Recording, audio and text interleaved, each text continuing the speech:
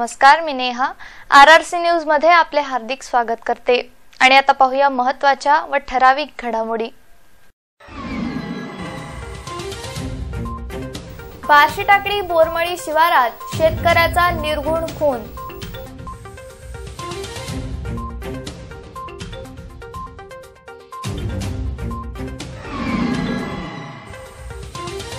रामदासपेठ पोलिसांनी दीड महिन्यानंतर आरोपीस केली अटक.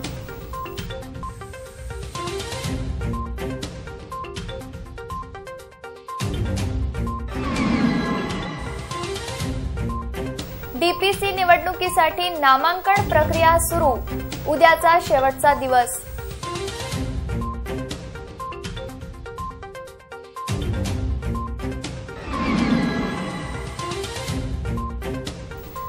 वाहतूक नियंत्रण शाखेद्वारे एकूण ऐंशी वाहनांवर दंडात्मक कारवाई.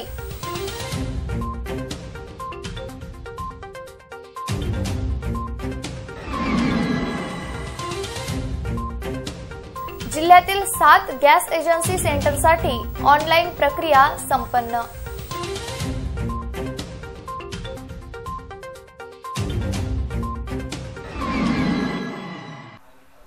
बार्शी टाकळी तालुक्यातील बोरमळी शिवारात एका शेतकऱ्याची धारदार शस्त्राने हत्या करण्यात आली. या प्रकरणी पोलिसांनी तीन जणांना ताब्यात घेतले. तालुक्यातील राजनखेड येथील एका शेतकऱ्याचा अज्ञात आरोपींनी शेतातच धारदार शस्त्राने खून केला. ही घटना बोरमळी शिवारात रात्री घडली. मृतकाच्या मुलाच्या तक्रारीवरून खुनाचा गुन्हा दाखल करून बार्शी टाकळी पोलिसांनी पुढील तपास सुरू केला आहे.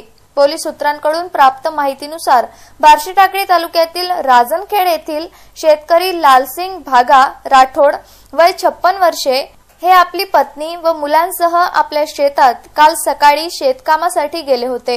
दिवसभर काम केल्यानंतर ते शेतात थांबले व त्यांची पत्नी व मुले घरी परत आली. अंधार पडायला लागला तरी लालसिंग घरी परतले नसल्याने घरच्यांनी त्यांचा शोध सुरू केला. परंतु गावात तसेच ओळखीच्या लोकांकडे ते आढळून आले नसल्याने अखेर बॅटऱ्या घेऊन त्यांच्या शोधासाठी गेले असता शेतात त्यांचा मृतदेह आढळून आला. या घटनेची माहिती बार्शी टाकडी पोलिसांना मिळताच परिवीक्षाधीन पोलीस उपअधीक्षक राहुल धस ठाणेदार तिरुपती राणे पीएसआय खंडवाये घटनास्थळी दाखल झाले. एसडीपीओ कल्पना भराडे सुद्धा घटनास्थळी गेल्या. घटनास्थळाचा पंचनामा केला. या प्रकरणी पोलिसांनी चौकशीसाठी तीन जणांना ताब्यात घेतल्याचे सांगण्यात आले. आज सायंकाळपर्यंत आरोपी निष्पन्न होण्याची शक्यता आहे. सोयाबीन विक्री प्रकरणी रामदासपेठ पोलिसांनी एका आरोपीस पुणे येथून अटक केली. दीड महिन्यानंतर आरोपीला पकडण्यात पोलिसांना यश आले. अकोला येथून धुळे येथे पाठविण्यात आलेला सोयाबीनचा नऊशे वीस क्विंटल मालात अफरातफरी करणाऱ्या आरोपीला रामदासपेठ पोलिसांनी दीड महिन्यानंतर अटक केली. शहरातील एपीएमसी मार्केटमध्ये आशिष एंटरप्राइजेस नामक दुकान आहे.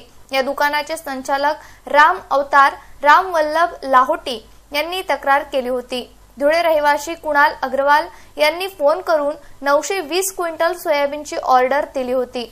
त्यानुसार चार ट्रकच्या माध्यमातून नऊशे वीस क्विंटल सोयाबीन पाठविण्यात आले.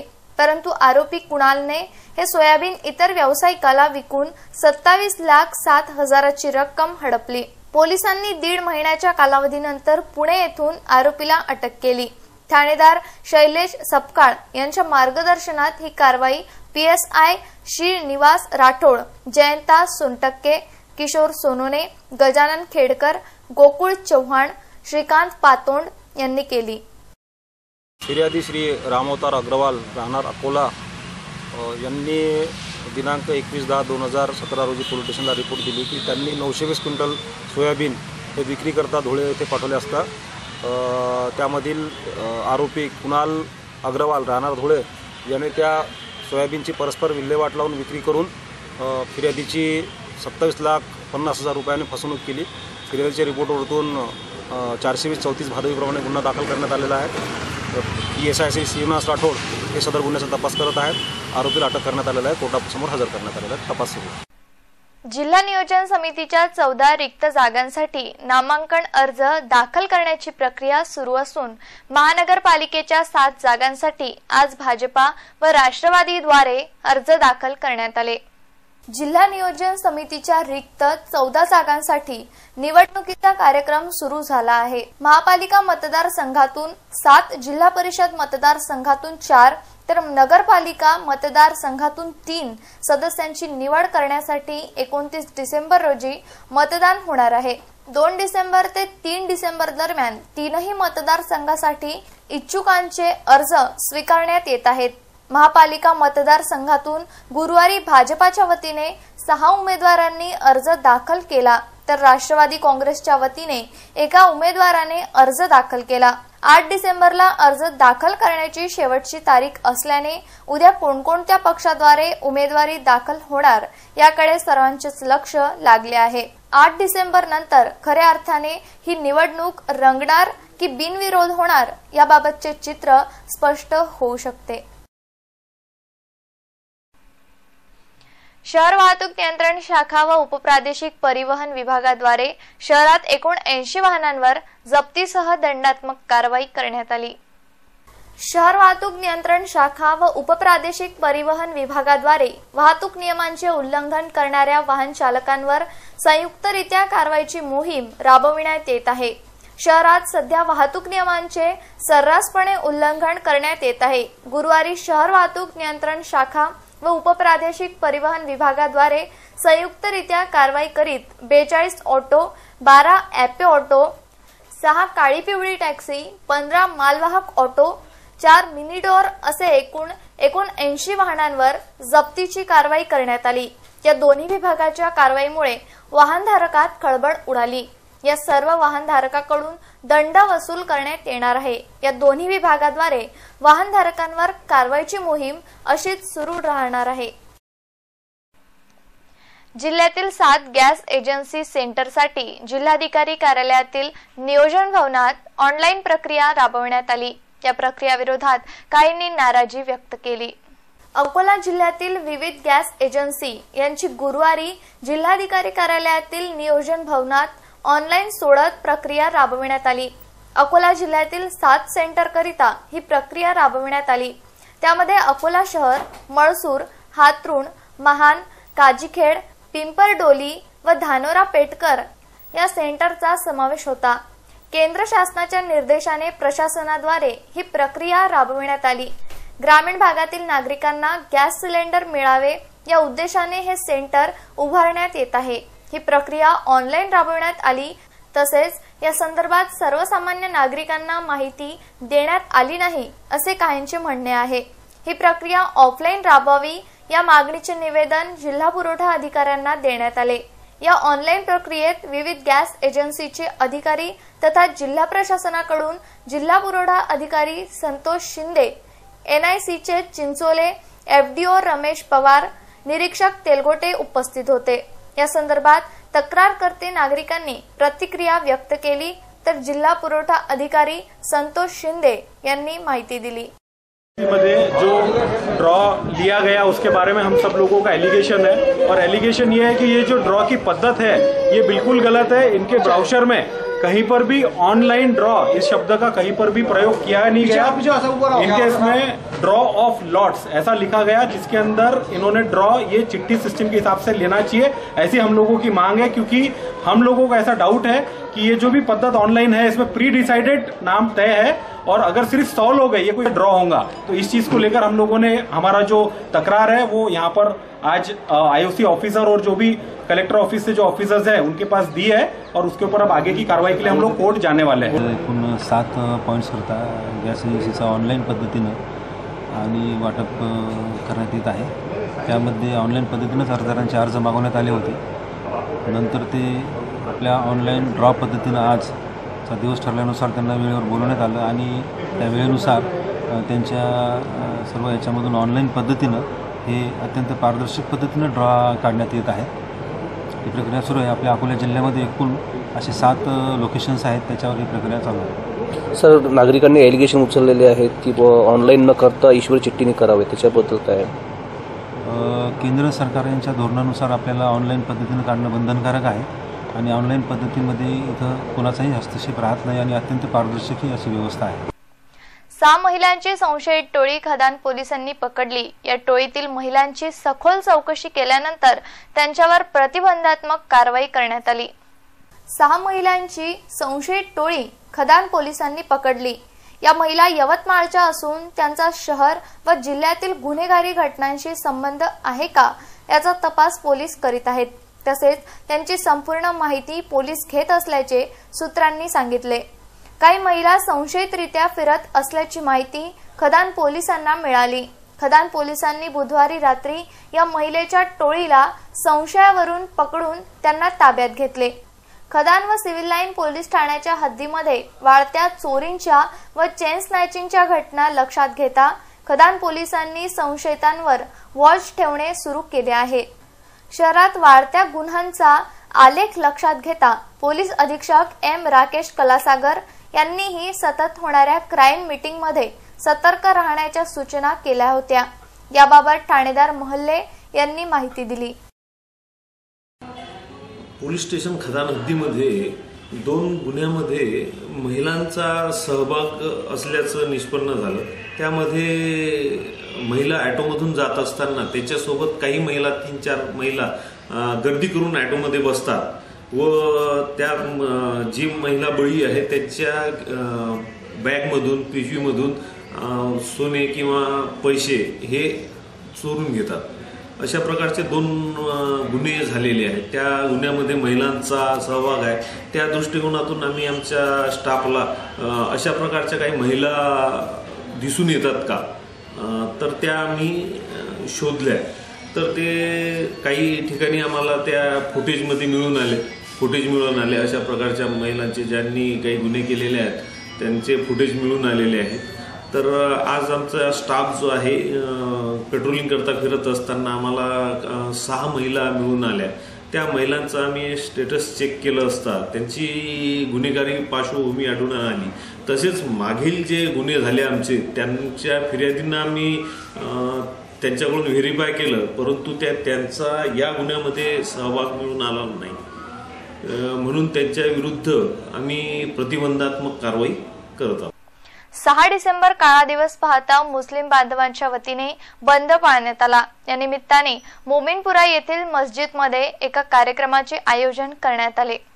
बुधवार सहा डिसेंबरला बाबरी मस्जिदचा ढाचा पाडण्यात आल्यावरून मुस्लिम बांधवांद्वारे काळा दिवस साजरा करण्यात आला.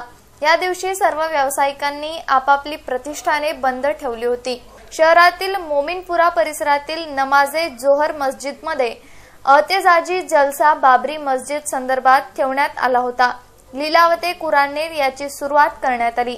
मोहम्मद खलीद यांनी नाऊद सादर केली. त्यानंतर मौलाना तुफैल अहमद नदवी साहेब इमाम व खतीब नगीना मस्जिदमध्ये बाबरी मस्जिदच्या इतिहासासंदर्भात माहिती देण्यात आली. नागपूर येथून आलेले अबुल वहाब मलक नायक नकीब वहादते इस्लामी यांनी बाबरी मस्जिद पाडण्याच्या संदर्भात माहिती दिली. सुप्रीम कोर्टाचा निकाल आल्यानंतर या विरोधात काही फॅसिस्ट ताकद उभ्या राहू शकतात.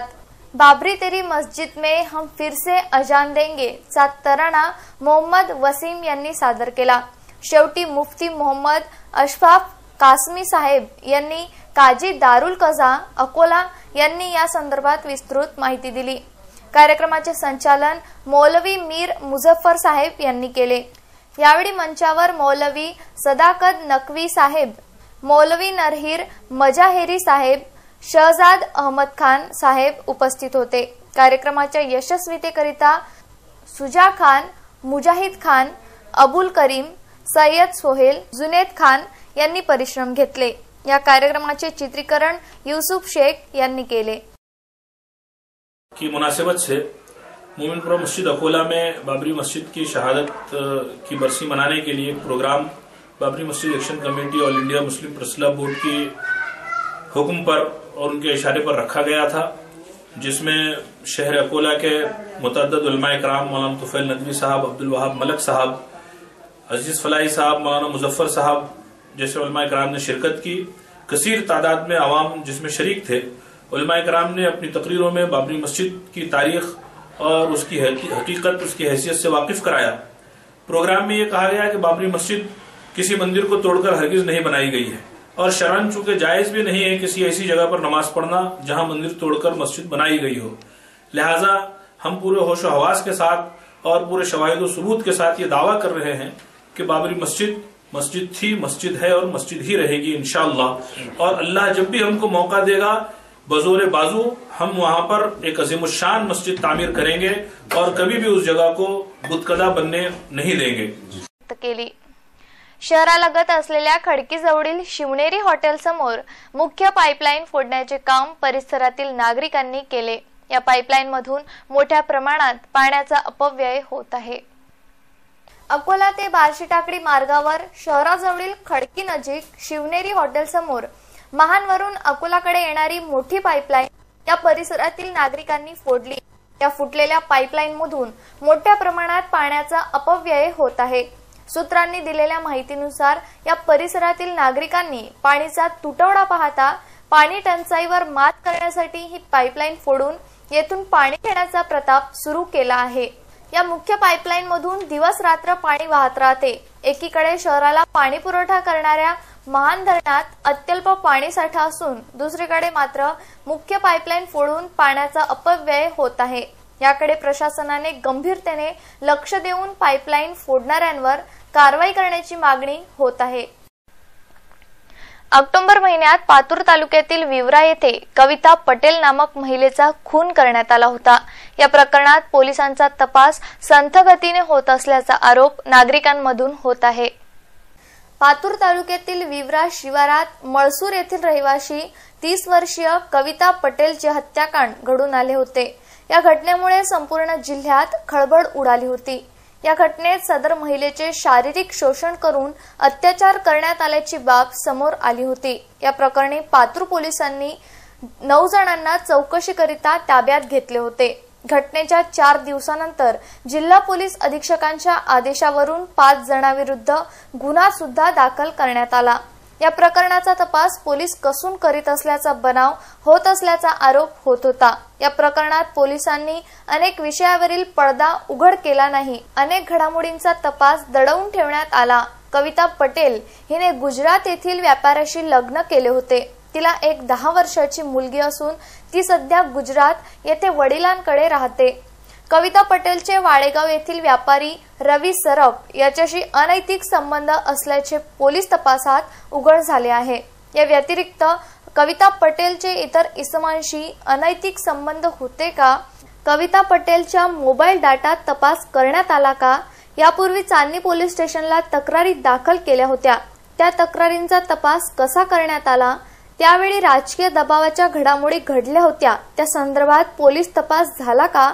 असे अनेक प्रश्न अनुत्तरीय असून या हत्याकांडात आणखी काय सत्य पोलीस बाहेर काढते याकडे सर्वांचे लक्ष लागले आहे. पातूर प्रतिनिधी प्रदीप काळपांडे यांची विशेष रिपोर्ट. राष्ट्रीय महामार्गांवर दिवसेंदिवस खड्ड्यांचे प्रमाण वाढत चालले असून या खड्ड्यांमुळे अपघात घडत आहेत. राज्यभर रस्त्यावर मोठ्या प्रमाणात खड्ड्यांचे साम्राज्य पसरले आहे. अकोल्यातही खड्ड्यांमुळे लोकांना मोठ्या प्रमाणात त्रास सहन करावा लागतोय. अकोल्यातून जाणाऱ्या राष्ट्रीय महामार्ग क्रमांक सहा या रस्त्याची अत्यंत दयनीय अवस्था झालीय. या रस्त्यावरील खड्ड्यांमुळे अपघाताचे प्रमाणही वाढले आहे. गेल्या महिनाभरापूर्वीच या महामार्गावरील बाबुळगाव जवळ रस्त्याच्या कडेला उभ्या असलेल्या मजुरांच्या अंगावर ट्रक कोसळल्याने त्याखाली दबून चार मजुरांचा मृत्यू झाला होता. त्याचीच पुनरावृत्ती तब्बल एक महिन्यानंतर झाली. परत त्याच ठिकाणी दोन दिवसाआधी एक ट्रकचा तोल गेल्याने तो एक घरात शिरला. सुदैवाने यात कोणत्याही प्रकारची जीवितहानी झाली नाही. सध्या या महामार्गाचे चौपदरीकरणाचे काम सुरू आहे पण या कामाला किती अवधी लागेल हे सांगता येत नाही. मात्र सरकारने शहर खड्डेमुक्त करण्याची तारीखही जवळ आल्याने खड्डे बुजवले जातील हे पाहावे लागेल. परंतु सध्या राष्ट्रीय महामार्गावर खड्ड्याचे प्रमाण पाहता अपघात घडत असून याकडे संबंधित विभागाने लक्ष देणे गरजेचे आहे. जुन्या शहरातील गुरुदेव नगर रहिवासी दीपक मांडवगळे हे चार डिसेंबरपासून घरून निघून गेले. या संदर्भात माहिती असणाऱ्यांनी पोलिसांशी संपर्क करावा. जुने शहर पोलीस स्टेशन हद्दीतील गुरुदेव नगर चाळीस वर्षीय दीपक रामकृष्ण मांडवगळे चार डिसेंबर दोन हजार सतरा पासून घरून निघून गेले. मजुरीचे पैसे आणतो असे सांगून दीपक निघून गेल्यानंतर घरी परत आले नाही. घरातील मंडळींनी त्यांचा शोध घेतला. शेवटी या संदर्भात सौ संगीता मांडवगळे यांनी जुने शहर पोलीस स्टेशनला मिसिंग तक्रार दाखल केली. दीपक रामकृष्ण मांडवगळे यांचा रंग गोरा असून मोठे डोळे पाच फूट उंची फिकट गुलाबी रंगाचे शर्ट व निळा पॅन्ट त्यांनी परिधान केलेला आहे. सदर छायाचित्रात दिसणारे दीपक मांडवगळे कुणाला आढळल्यास जवळच्या पोलीस स्टेशन अथवा जुने शहर पोलिसांशी संपर्क करण्याचे आवाहन करण्यात येत आहे. एक हात व पायाने दिव्यांग असलेल्या अकोल्याचा धीरजने रायगड जिल्ह्यातील लिंगाणा गडकोट पार करण्याची किमया करीत अकोल्याच्या नावारूपात भर घातली. महाराष्ट्राचे एव्हरेस्ट शिखर मानल्या जाणाऱ्या रायगड जिल्ह्यातील लिंगाणा गडकोटवर चढण्याचा यशस्वी कारनामा शारीरिकरित्या दिव्यांग असणाऱ्या अकोट रहिवाशी धीरज बंडू कलसाईत नामक युवकाने करून दाखविला. त्याने हा कारनामा तीन डिसेंबर जागतिक अपंग दिनी करीत अकोला शहराच्या नावलौकिकात भर घातली. लिंगाणा गड चढणारा धीरज हा राज्यातील पहिला दिव्यांग ठरला आहे. धीरज कलसाईत हा जन्मतः एका हाताने विकलांग आहे. यासोबतच धीरज आठ वर्षाचा असताना त्याचा पाय मिक्सर मशीन मध्ये आल्याने तुटला. त्यामुळे बनावट पायाच्या मदतीने तो सर्व कार्य करतो. लहानपणापासून त्याला पर्यटन व गिर्यारोहणाची आवड होती. Shivrashtra hikers Kolhapur art Shikhar foundation Pune यांच्या सहकार्याने त्याने लिंगाणा शिखर पार केले. लिंगाणा शिखर हे समुद्र सपाटीपासून दोन हजार एकशे एकोणसत्तर फूट उंच आहे. तर जमिनीपासून ते नऊशे पन्नास फूट उंच आहे. हात व पायाने अपंग असणाऱ्या धीरजने आपल्या इच्छाशक्तीच्या जोरावर महाराष्ट्राचे एव्हरेस्ट मानले जाणारे लिंगाणा शिखर पार केले. त्याच्या या गिर्यारोहण मोहिमेला प्रवीण पवार शिवाजी आंधळे विक्रांत शिंदे प्रशांत साळुंके यांचे सहकार्य लाभले. अकोला रेल्वे स्टेशन चौकात पाईपलाईन दुरुस्तीसाठी खोदून ठेवण्यात आलेला खड्डा जीवघेणा ठरत असून या खड्ड्याला त्वरित बुजवण्याची मागणी होत आहे. अकोला रेल्वे स्थानकासमोरील चौकात पाईपलाईन दुरुस्तीच्या नावावर खोदण्यात आलेला खड्डा वाहनधारकासह नागरिकांसाठी धोकादायक बनत चालला आहे. रात्रीच्या वेळी या खड्ड्यात पडून अनेक वाहन चालक व नागरिक जखमी होत आहेत. दोन दिवसापूर्वी या खड्ड्यात एक स्कॉर्पिओ गाडी फसली होती. या गाडीला बाहेर काढण्यासाठी वाहन चालकाला चांगलेच परिश्रम घ्यावे लागले होते. नागरिकांच्या मदतीने नंतर ही गाडी बाहेर काढण्यात आली. या खड्ड्यामुळे एखाद्या दिवशी मोठी दुर्घटना होऊ शकते. त्यामुळे हा खड्डा लवकरात लवकर बुजविण्याची मागणी होत आहे. पातूर येथे शहीद आनंद काळपांडे यांच्या स्मृतींना उजाळा देण्यात आला. या निमित्ताने याद करो कुर्बानी या विशेष कार्यक्रमाचे आयोजन करण्यात आले होते. भारत पाकिस्तान युद्धातील सैनिक आनंद काळपांडेच्या प्रेरणादायी स्मृतींना पातुरात उजाळा देण्यात आला. पातूर येथील शहीद सैनिक आनंद काळपांडे यांच्या स्मारकासमोर याद करो कुर्बानी हा विशेष कार्यक्रम आयोजित करण्यात आला होता. यावेळी त्यांच्या वीरपत्नी विमल काळपांडे पातूरचे तहसीलदार डॉक्टर आर जी पुरी सुभेदार major P N Gujar Vishnu Dongre हवालदार Khambalkar Naik M S Yusuf Bhaskar Padghan sergeant Mahadev Paramale माजी सैनिक तुकाराम निलखन हवालदार प्रशांत निलखन अरुण राऊत विजय जाधव संजय बगाडे नगराध्यक्ष प्रभा कोथळकर उपाध्यक्ष राजू उगले नगर परिषद सदस्य वर्षा बगाडे तुळसाबाई गाडगे निर्मला गाडगे माजी नगरसेवक मेघा काळपांडे हाजी सय्यद बुरहान प्रकाश निमकंडे लक्ष्मण काळपांडे त्र्यंबक काळपांडे रमेश काळपांडे गुलाबराव काळपांडे दयाराम काळपांडे प्रदीप काळपांडे कुसुम काळपांडे कमला काळपांडे उमेश काळपांडे दिनेश काळपांडे पप्पू बोंबटकार छत्रपती गाडगे विठ्ठल काळपांडे सागर कढोणे विद्या गाडगे निलेश गाडगे आदींनी यावेळी अभिवादन केले. शेवटी पुन्हा एक नजर प्रमुख घडामोडींवर.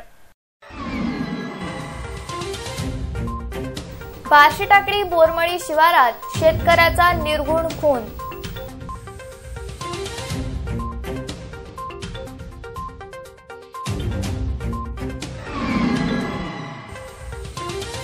रामदास पेठ पोलिसांनी दीड महिन्यानंतर आरोपीस केली अटक.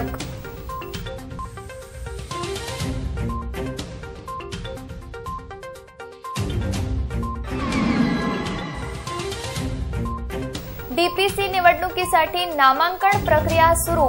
उद्याचा शेवटचा दिवस.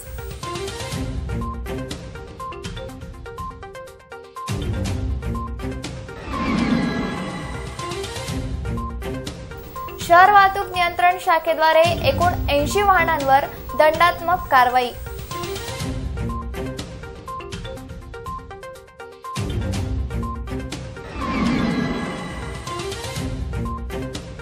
जिल्ह्यातील सात गॅस एजन्सी सेंटरसाठी ऑनलाईन प्रक्रिया संपन्न.